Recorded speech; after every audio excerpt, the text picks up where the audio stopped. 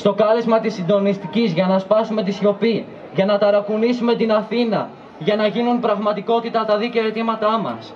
Την εβδομάδα που μας πέρασε η κυβέρνηση, οι διευθυντές και οι δήμοι με διάφορους τρόπους προσπαθούν να συκοφαντήσουν τον αγώνα μας. Να μας βγάλουν παράνομους, να μας βγάλουν τρελούς και ότι το κάνουμε για χαβαλέ. Να μας τρομοκρατήσουν με απειλητικά email όπως έκαναν στο έκτο γυμνάσιο Γιου Δημητρίου. Και όπου δεν τους βγαίνει η τρομοκρατία προσπαθούν να μας πιάσουν φίλους, να μας ρίξουν στάχτη στα μάτια ότι δήθεν είναι μαζί μας αλλά δυστυχώς δεν μπορούν να κάνουν κάτι.